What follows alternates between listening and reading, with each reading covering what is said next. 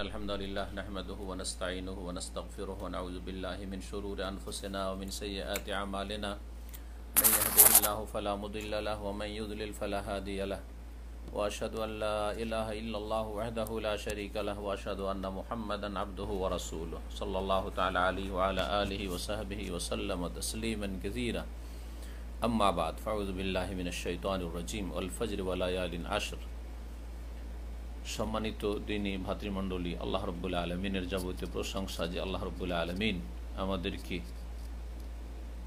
বছরে বিভিন্ন সময়ে বেশ কিছু গুরুত্বপূর্ণ সময়, মোবারক সময় দান করেছেন, যে সময়গুলিতে অল্প মেহনতে অনেক সওয়াব অর্জন করতে পারে। এটি আল্লাহ রব্বুল্লা আলমের বড় অনুগ্রহ। সালাত এবং সালাম নাজিল হুফিয়ান মোহাম্মদ রসুল্লাহ সাল্লাহ আলী সাল্লামের ওপর যার মাধ্যমে আমরা এ বিষয়গুলি জানতে পেরেছি। আলহামদুলিল্লাহ। আজকে ছাব্বিশে জিলকাদা, চোদ্দোশো একচল্লিশ হিজড়ি মোতাবেক সতেরোই জুলাই দুই হাজার বিশ জুমাবার মসজিদুল হারাম মক্কাতুল মোকাররমায় যে গুরুত্বপূর্ণ খুতবা প্রদান করা হয়েছে, খুতবা প্রদান করেছেন সম্মানিত Sheikh doctor Osama bin Abdullah Khayyat হাফিজাহুল্লাহ তালা খুদবার বিষয়বস্তু হচ্ছে, জিলহাজ মাসের প্রথম দশ দিনের ফজিলত। প্রথম খুদবা আল্লাহ রবুল্লা আলমিনের প্রশংসা এবং রসুল্লাহ সাল্লাহ আলী আসাল্লামের ওপর সালাতামের পরে শুরু করে বলছেন আম্মাবাদ ফত্তাকুল্লাহ ইবাদ আল্লাহ আল্লাহর বান্দারা তোমরা আল্লাহকে ভয় করো। এবং আল্লাহ রবুল আলমিন সব কিছুই তোমাদের দেখছেন, জানছেন, এ কথা সব সময় ইয়কিন রাখো। এবং নিষ্ঠার সাথে তার সন্তুষ্টির জন্য সৎ আমল করো। সুসংবাদ ওই সব লোকদের জন্য যারা নিজের আমলকে আল্লাহর জন্য খালিস করে। এবং আল্লাহ রব্বুল আলমিনের সান্নিধ্য লাভের সচেষ্ট হয়। আল্লাহ রব্বুল আলমিনকে ভয় করে, আল্লাহ অভিমুখী হয় এবং আল্লাহ রব্বুল আলমিন যা ভালোবাসেন, যা পছন্দ করেন, তাই তারা করে। এবং বেশি বেশি নেক আমল সঞ্চয় করার, নেক আমল করার চেষ্টা করে, যার মাধ্যমে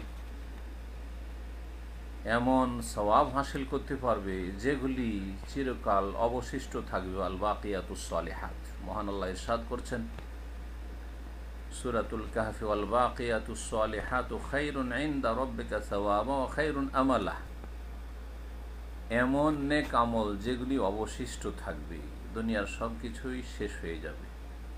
নেক আমলই বাকি থাকবে এবং যে কোনো নেকির রাস্তা তলাশ করা, রব্বুল আলমিনের কাছে নেক কাজের জন্য তৌফিক কামনা করা, আর সেই রবকে ভয় করে নেক আমল করা, যিনি সব কিছুর মালিক। এবং আল্লাহ রব্বুল আলমিনের সন্তুষ্টি অর্জনের সর্বাত্মক চেষ্টা করা।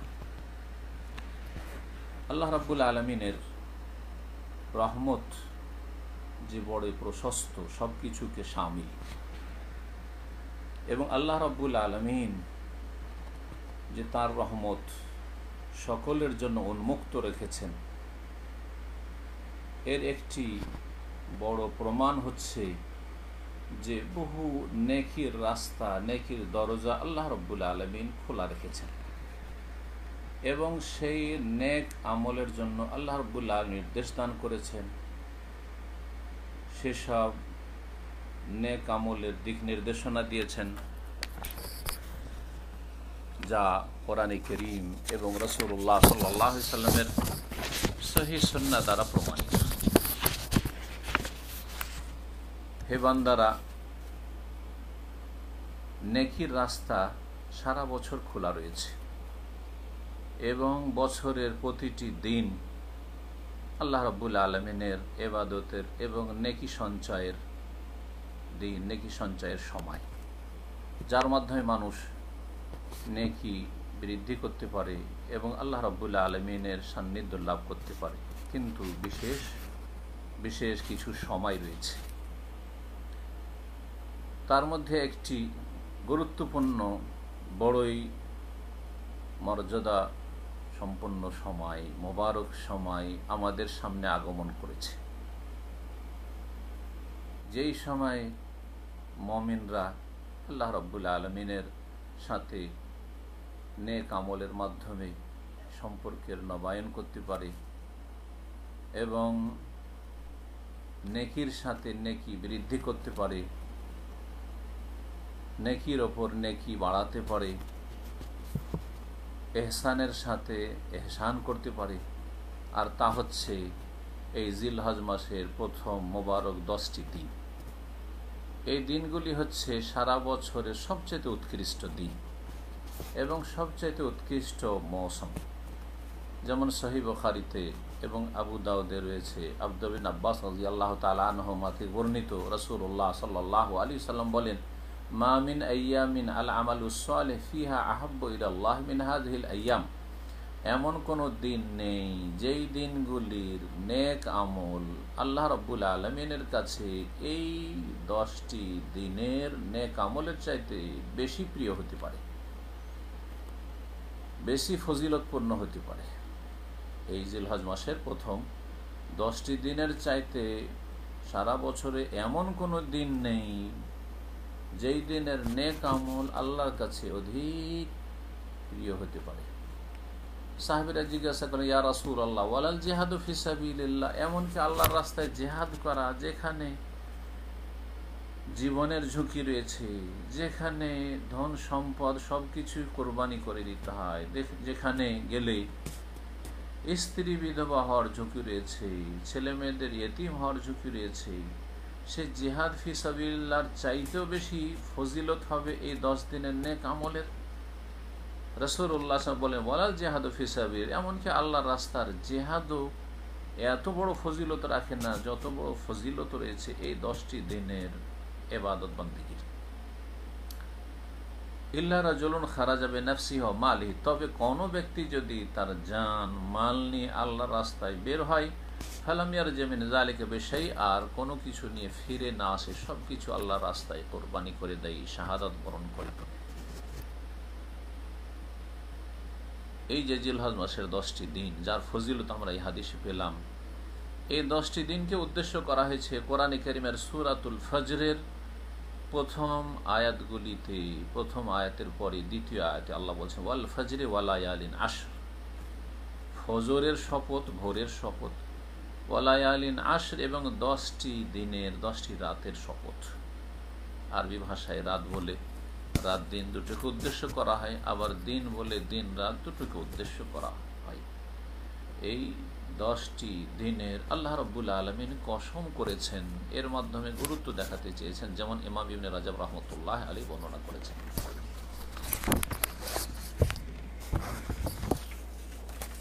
এই দিনগুলিতে আমরা নেক আমল করব। সবচেয়ে গুরুত্বপূর্ণ নেক আমল, যার মাধ্যমে বান্দা তার রবের সান্নিধ্য লাভ করবে, নৈকট্য অর্জন করবে, তা হচ্ছে একামতুল ফারাইজ। ফরজ আল্লাহ রব্বুল আলমিনের যে বিধিবিধান রয়েছে, সেগুলি কায়েম করা, যা আল্লাহ ফরজ করেছেন। প্রতিদিন আল্লাহর পাঁচ অক্ত সলাদ ফরজ করেছেন, ফরজ সলাদ ফরজ জাকাত ফরজ সিয়াম, ফরজ হজ এইরকমই মানব জীবনে যতগুলি ফরজ রয়েছে, আল্লাহর হকের ক্ষেত্রে, মানুষের হকের ক্ষেত্রে মাতা পিতার সাথে সদ্ব্যবহার, ইত্যাদি ইত্যাদি, মানব জীবনে বহু ফরজ। নারীদের ক্ষেত্রে হেজাব ফরজ রয়েছে। সবচেয়ে বড় নেক আমল হচ্ছে ফরজগুলি জীবনে কায়েম করা। ওয়াজতিনাবুল মাহারেম এবং তারপরে তার সাথে সাথে হচ্ছে যত হারাম রয়েছে, হারাম কথা কাজ থেকে বেঁচে থাকা। হারাম খাওয়া থেকে বেঁচে থাকা, হারাম দেখা, হারাম শোনা, হারাম আচর, আচরণ, যত কিছু হারাম, শির্ক থেকে শুরু করে, কুফরি থেকে শুরু করে, বিদাত থেকে শুরু করে যত হারাম হতে পারে, সমস্ত হারাম থেকে বেঁচে থাকা। এর মাধ্যমে আল্লাহ রব্বুল্লা আলমিনের সান্নিধ্য লাভ করবে। এটা হচ্ছে প্রথম কাজ। আর এটি হচ্ছে এবাদতের মৌলিক বিষয়। ফরজ কায়েম করা আর হারাম নাজাজ থেকে বেঁচে থাকা, এটি হচ্ছে এবাদতের স্তম্ভ। যেমন হাদিসে কুদ্সিত রয়েছে, ইমাম বুখারি রহমাহুল্লাহ সেই হাদিস বর্ণনা করেন, আবু রাজি আল্লাহ তালা আনো থেকে, কালা রসুল্লাহ সাল্লাহ আলী রসুল্লাহ সাল্লাম বলেন, ইন্নাল্লাহ কাল মহান আল্লাহ বলেছেন ওমা তাকারবা এলাইয়া আবদি বেশাইন আহাব্বা এলাইয়া মিম মাফতারাজু আলিহি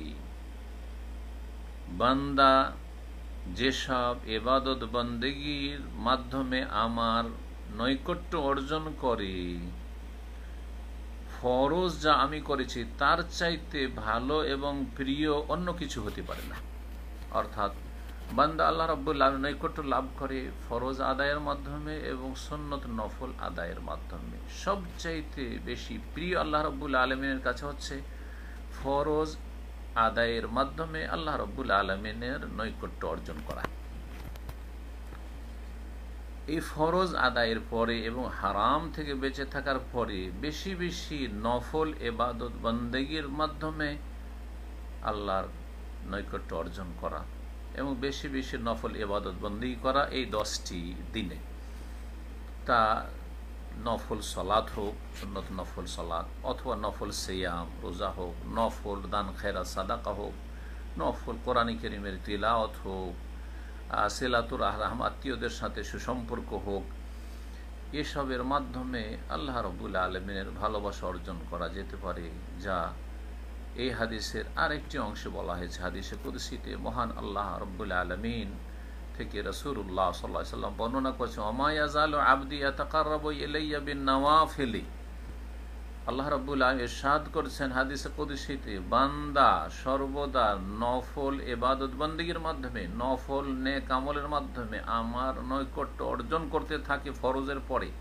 প্রথম ফরজের কথা উল্লেখ করার পরে বলছেন, নফল এবাদত বন্দীগীর মাধ্যমে আমার নৈকট্য অর্জন করতে থাকে, হাত্তা অহিব্বাহ এমনকি এক সময় তাকে ভালোবাসতে লাগে। বান্দাকে আমি ভালোবাসতে লাগি। বান্দা যখন ফরজ এবাদত বন্দীগীর পরে বেশি বেশি নফলের মাধ্যমে আল্লাহ সান্নিধ্য লাভের চেষ্টা করে, তখন আল্লাহ তাকে ভালোবাসেন। যখন আল্লাহ ভালোবাসতে লাগেন, কুন্তু সামাহুল্লাজি ইয়াসমাউ বেহি ওয়াবাসারাহুল্লাজি ইউসির বেহি ওয়াদাহুল্লাতি আবদাসু বেহা ওয়ারিজাহুল্লাতি আমশি বেহা। তখন আমি তার শ্রবণ শক্তিতে তৌফিক দিয়ে থাকি, ভাব অর্থ বর্ণনা করে দিলাম, যেটি হচ্ছে এ হাদিসের সঠিক অর্থ। শ্রবণ শক্তি আল্লাহ সন্তুষ্টি কাজে নিয়োজিত থাকে। দৃষ্টি শক্তিতে আমি স্পেশাল তৌফিক দিয়ে থাকি, তার হাতে শরীরের প্রতিটি অঙ্গ প্রত্যঙ্গে, তার পায়ে আমি স্পেশাল তৌফিক দিয়ে থাকি। আল্লাহ রব্বুলের সন্তুষ্টির কাজ ছাড়া তার অঙ্গ প্রত্যঙ্গ অন্য কিছুতে বাড়ে না। এমন আল্লাহর নৈকট্য অর্জন করে। ওয়া ইনসা আলানিলাউতিয়ানো তখন আমার কাছে যা কিছু চাই আমি অবশ্যই তাকে দিই। এর মানে বোঝা গেল যে যতই আল্লাহ নৈকট্য অর্জন করুক না কেন, যত আল্লাহর অলি হয়ে যাক না কেন, কখনো মনে করবেন না যে সে দিতে পারে, দেওয়ার ক্ষমতা অর্জন করে নিতে পারে। বরং আল্লাহর কাছে চাইতে হয়, চাইলে আল্লাহ তাকে দেন এই ওয়াদা করেছেন। ওয়ালাইন ইস্তাহাজানি আর আমার কাছে যখন আশ্রয় কামনা করে, লা ওইজান্নাহু তখন অবশ্যই তাকে আমি আশ্রয় দিয়ে থাকি। হে আল্লাহর বান্দারা, এই দশটি দিনে বহুমুখী এবাদত বন্দিগি রয়েছে। তার মধ্যে আল্লাহর জিকিরের এবাদত একটি গুরুত্বপূর্ণ এবাদত। এর বড়ই সুউচ্চ মর্যাদা রয়েছে। জিকিরকে হাদিসে খৈরুল আমাল সবচেয়ে উৎকৃষ্ট আমল বলা হয়েছে। বা আজকাল আমাল, অত্যন্ত পবিত্র আমল বলা হয়েছে আল্লাহ রব্বুল্লা আলমিনের নিকটে। যেমন মুসনাদ আহমদে তিরমিজি তিবিন মাজাই সহি সনদে আবু দারদার রাজি আল্লাহ তালা আনহ থেকে হাদিস বর্ণিত রয়েছে। রসুল্লাহ সাল্লাহ আলী সাল্লাম বলেন, আলা ওনাব্বেকুম বেখাইরি আমালিকুম? তোমাদেরকে বলে দেব নাকি নেক আমল সম্পর্কে?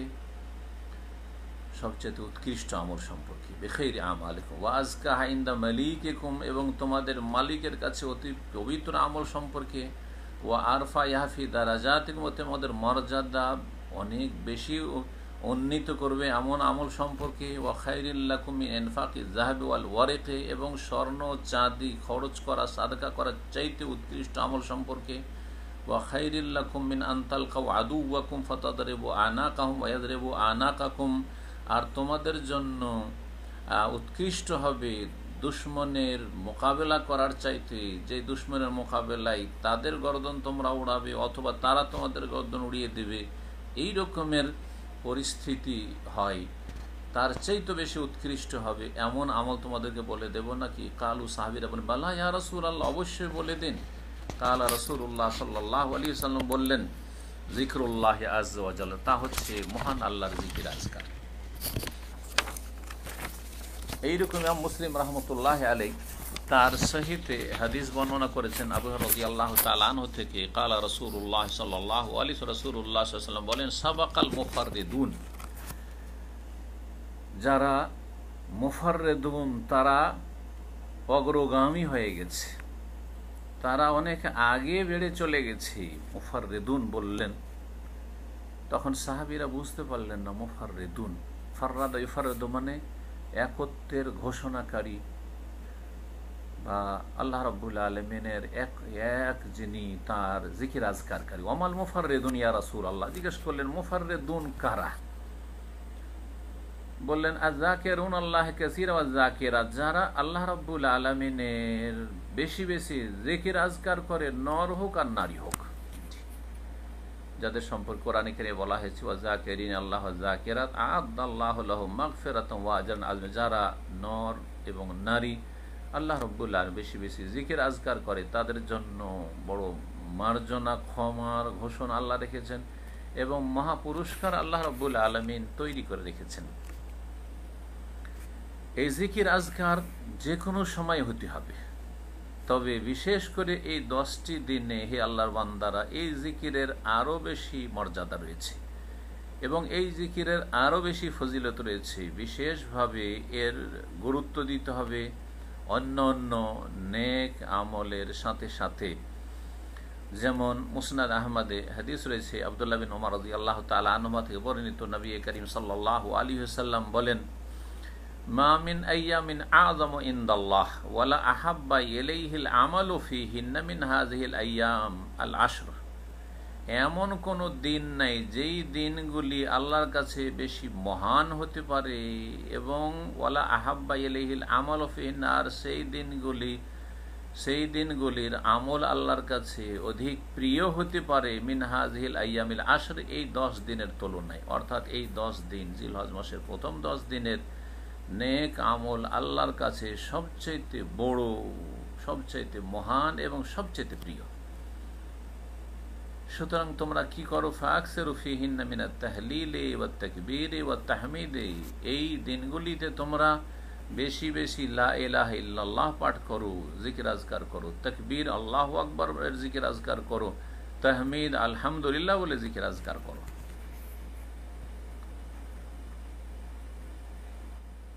ইমাম বিমুল কাইম রহমতুল্লাহ আলী বলেছেন যে মানব শরীরের প্রতিটি অঙ্গ প্রত্যঙ্গের এবাদত রয়েছে, কিন্তু প্রতিটি এবাদত হচ্ছে এবাদা বা অবুদিয়াতুন মোয়াক্কাতা, সাময়িক এবাদত। কিছু সময় চলে আর তারপরে সেই এবাদত থেমে যায় সেই অঙ্গের।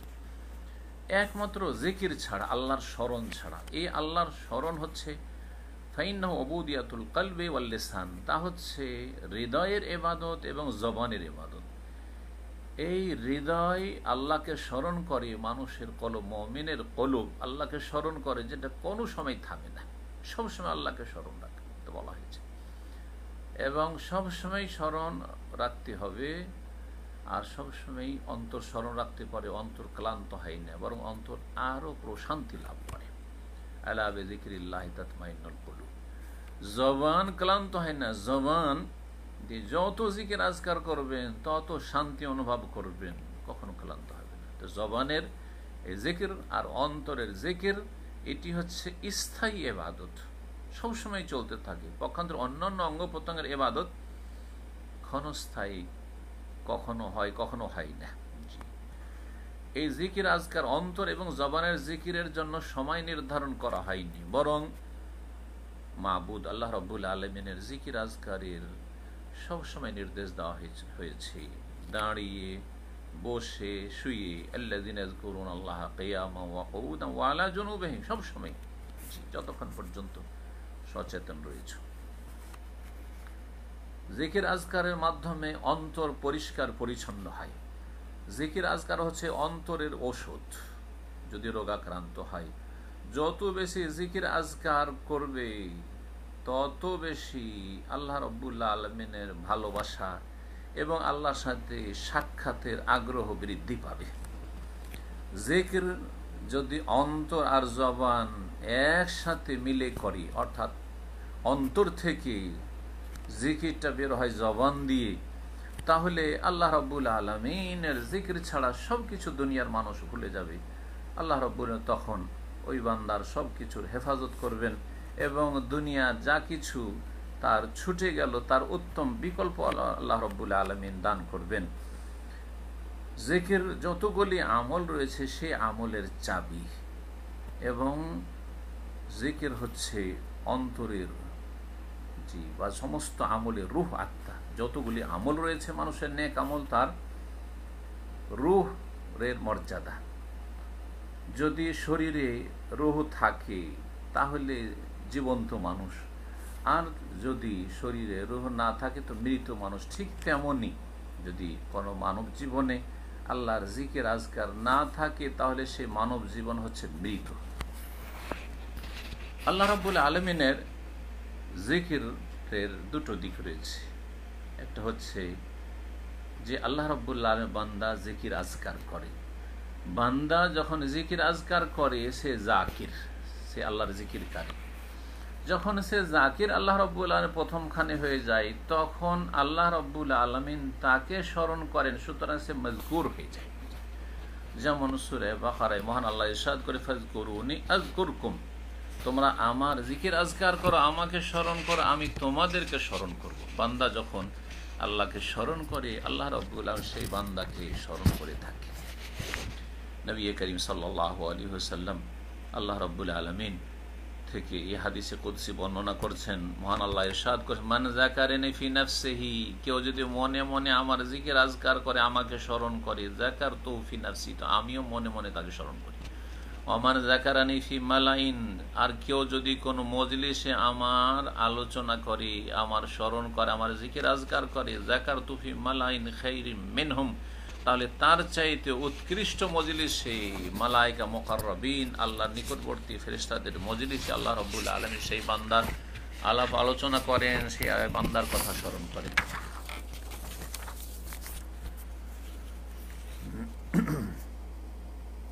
এই দশটি যে দিন রয়েছে, বড়ই বরকতপূর্ণ দিন, এই দিনগুলিতে প্রতিটি নেক আমল আল্লাহর কাছে প্রিয় এবং বহুমুখী নেক আমল করা উচিত। এবং তার উত্তম পদের টান রয়েছে। কিন্তু প্রতিটি মানুষ একরকম নাই। কারও কোনো আমলে বেশি আগ্রহ থাকে, কারও কোনো আমলে বেশি আগ্রহ থাকে। কোনো মানুষকে দেখা যায় যে সে অধিকাংশ সময় দিনের পঠন পাঠন দিন শিখে অথবা শিখায়, তাতেই ব্যস্ত থাকে। সেটি তার গুরুত্বপূর্ণ আমল। অন্য অন্য আমলও রয়েছে, ফারাইজ অজেবাদ অন্য অন্য অবশ্যই থাকতে হবে, কিন্তু তার জীবনের মুখ্য আমল হচ্ছে শিক্ষা দেওয়া অথবা শিক্ষা নেওয়া দিনের। যারা দিনে এলেমের সাথে জড়িয়ে আছেন, তারা অনেকে এইরকম। তাদের অধিকাংশ সময় এই নেক আমলে কাটে। সুতরাং সবসময় আল্লাহর সন্তুষ্টি অর্জনের উদ্দেশ্যে নিজের সময়কে এই দিনের এলেমের প্রচার প্রসারে নিজে শিখে অথবা অন্যকে শেখায় এতে লেগে আছে। কিছু মানুষ আছে, তাদের মুখ্য আমল হচ্ছে আল্লাহর জিকির আজকার। সেটি হচ্ছে তাদের পরকালের সম্বল এবং সেটি হচ্ছে তাদের জীবনের আসল পুঁজি।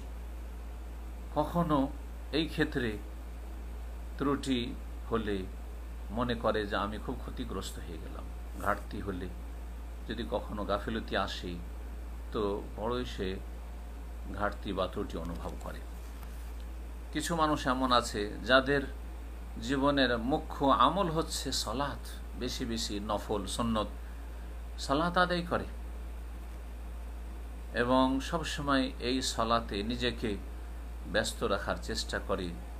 কখনো যদি সেই ক্ষেত্রে ত্রুটি হয়, ঘাটতি হয় নফল এবাদত বন্দিগিতে, তাহলে মনে হয় যে তার জীবনে অন্ধকার নেমে এসছে এবং তার অন্তর সংকুচিত হয়েছে। কিছু লোকের বেশি বেশি সলাদ পড়তে মজা লাগে। আবার কিছু লোক আছে যাদের জীবনের মুখ্য নেক আমল হচ্ছে মানুষের সাথে সদাচরণ করা, জনকল্যাণমূলক কাজ করা, পর উপকারী হওয়া, অন্যের প্রয়োজন পুরা করা, মানুষের বালা মুসিবতকে হালকা করা মানুষের পাশে দাঁড়ানো, সাদকা, বহুমুখী, সাদকা খেরাত করা, জি। তো এইরকম কিছু লোকেরা আছে। আবার কিছু লোকেরা আছে যাদেরকে কোরআন তেলাওয়াত করতে খুব ভালো লাগে। অধিকাংশ সময় কোরআন তেলাওয়াত ব্যস্ত থাকে, ফরজ অজেব আদায় করার পরে। আবার কিছু লোক আছে, তাদের জন্য সিয়াম, রোজা পালন খুব সহজ, বেশি বেশি রোজা রেখে থাকে। যদি কখনো নফল সিয়াম না রাখে তাহলে তাদেরকে কষ্ট লাগে যে আজকে সিয়ামটা ছুটে গেল, রাখলাম না। আবার কিছু লোকের আছেন যাদের হজ উমরা করা সহজ মনে হয়। প্রতি বছর হজ করার চেষ্টা করে ঘন ঘন উমরা করার চেষ্টা করে।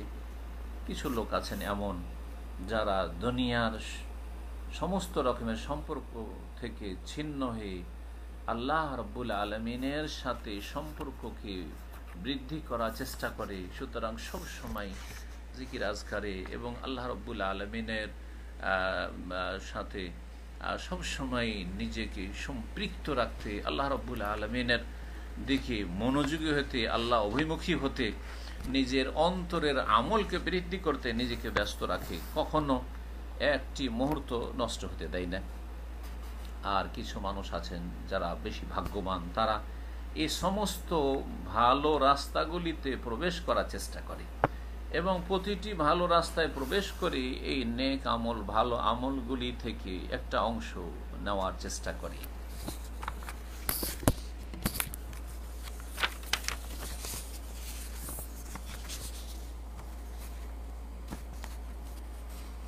সুতরাং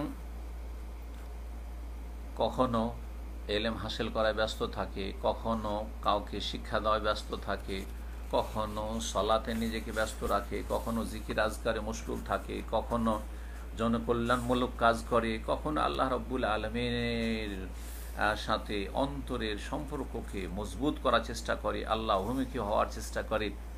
এইভাবে বহুমুখী এবাদত বন্দী করার চেষ্টা করি।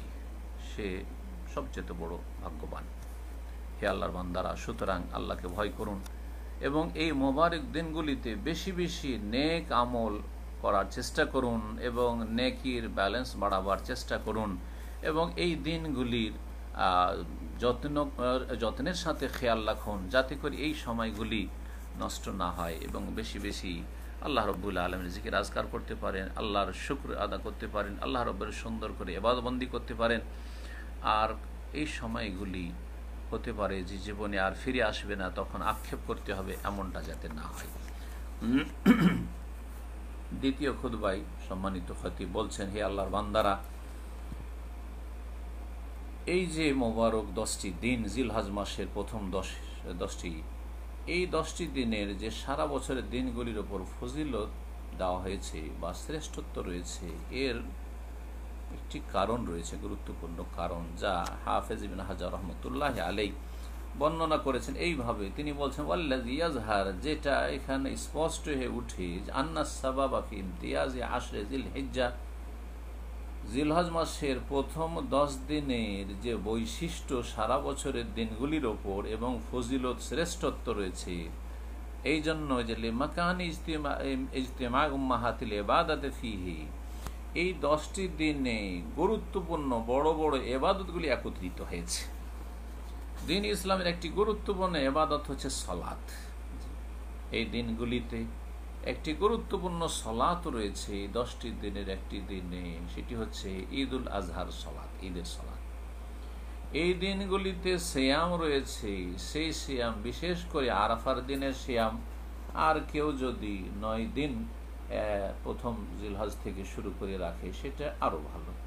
এই দিনগুলিতে সাদাকা দান খেরাত রয়েছে, কোরবানি করার মাধ্যমে আর অন্য অন্য নেক আমলের মাধ্যমে বা নফল সাদাকার মাধ্যমে। এই দিনগুলিতে হাজি সাহেবরা হজ করতে এসে থাকেন, হজের কাজগুলি করে থাকেন। হজের অধিকাংশ কাজগুলি আট তারিখ থেকে নিয়ে শুরু করলেন। নয় তারিখে আরফা থাকলেন আর দশ তারিখে অধিকাংশ কাজগুলি শেষ করা হয়। তো এই দিনগুলিতে সমস্ত কাজ একত্রিত হয়েছে, যার ফলে আল্লাহ রব্বুল আলমিন এই দশটি দিনকে ফজিলত দান করেছেন। আর এই রকমের গুরুত্বপূর্ণ এবাদত বন্দেগি অন্য কোনো সময় একত্রিত হয়নি। এই কথা হাফেজ ইবন রহমতুল্লাহ আলাই বর্ণনা করেছেন।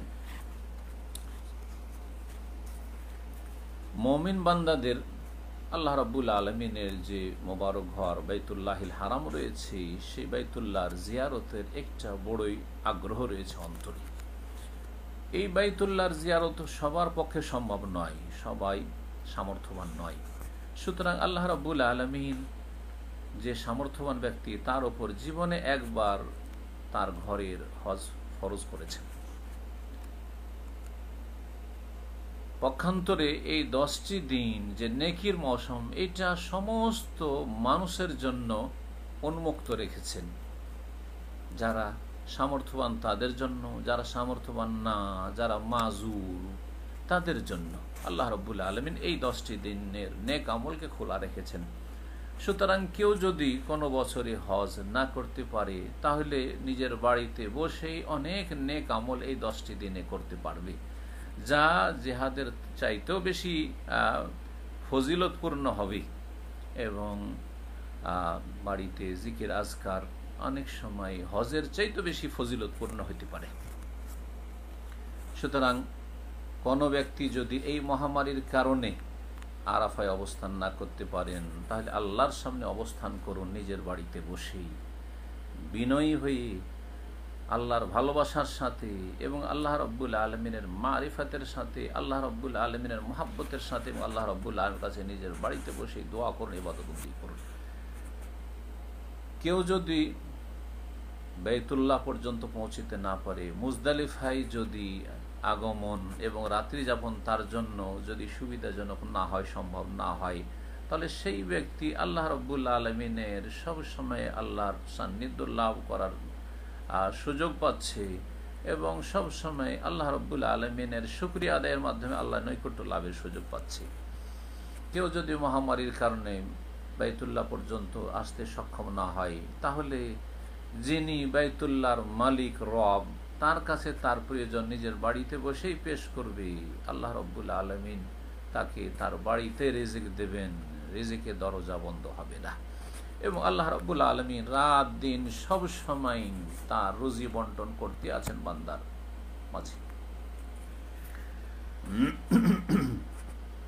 কেউ যদি আল্লাহ সুবাহ তালার সান্নিধ্য লাভ করতে চায় ঈদ উল আজহার দিনে কোরবানি করার মাধ্যমে, তাহলে তার সাথে সাথে আর একটি বিধান হচ্ছে আল্লাহর সান্নিধ্য লাভ করবে সেই বিধান পালনের মাধ্যমে। তা হচ্ছে এই দশটি দিনে নিজের পশম, চুল এবং নখ ইত্যাদি কাটবে না কোরবানি করা পর্যন্ত।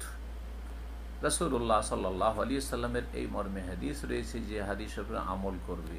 বলছেন রসুল্লাহ সাল্লাহ ইজা দাখালাতিল আশরো যখন জিলহজ মাসের দশটি দিন শুরু হয়ে যাবে ও আরাদা আহাদুকমা ইউদাহিয়া আর তোমাদের কেউ যদি কোরবানি করতে ইচ্ছুক হয় যে এই বছরে কোরবানি করব ফালাই আমাসামিন শাহরিহি ও বাসারিহি সেই আহ তাহলে নিজের পশম থেকে এবং নিজের শরীর থেকে কোনো কিছু যেন স্পর্শ না করে মানে না কাটে। এমা মুসলিম রাহেমাহুল্লাহ সাহি মুসলিমে হাদিসটি বর্ণনা করেছেন। সুতরাং হে আল্লাহর বান্দারা, আল্লাহকে ভয় করুন এবং আল্লাহর নেয়ামত যে আমাদের ওপর রয়েছে তা স্মরণ করুন যে আল্লাহ রব্বুল আলমিন আমাদের জন্য সহজ করে দিয়েছেন, আমাদেরকে আয়ু দিয়েছেন যে আমরা এই সময় পৌঁছিতে পেরেছি। যেই মোবারক সময়ে আমরা এবাদত বন্দী করে রবকে সন্তুষ্ট করার সুযোগ পেয়েছি, আল্লাহ যেন আমাদের সকলকে তৌফিক দান করেন এবং এর মাধ্যমে আমাদের মনে প্রশান্তি নেমে আসবে, আমাদের আত্মার পরিশুদ্ধি হবে এবং আমাদের জীবনটা বরকতপূর্ণ হবে। আল্লাহ রব্বুল আলমী যেন আমাদেরকে এই সমস্ত নেক আমলের এর তৌফিক দান করেন এবং জীবনের নেক আশাগুলি পূরণ করার তৌফিক দান করেন। তারপরে সলাত সালাম শেষ নবী মোহাম্মদ রসুল্লাহ সাল্লাহ আলি সাল্লামের ওপর যিনি রহমতুল্লিল আলমিন যার প্রতি সলাত সালামের আল্লাহ রবুল্লাহ নির্দেশ দান করেছে ইন্নআল্লাহ মালাইকাতুসাল্লুন আলান নবী يا أيها الذين آمنوا صلوا عليه وسلموا تسليما اللهم صل وسلم على عبدك ورسولك محمد وارض اللهم عن خلفائه الأربع أبي بكر وعمر وعثمان وعلي وعن سائر الآل والصحابة والتابعين ومن تبعهم بإحسان إلى يوم الدين وعنا معهم بعفوك وكرمك وإحسانك يا أكرم الأكرمين. سبحان ربك رب العزة عما يصفون وسلام على المرسلين والحمد لله رب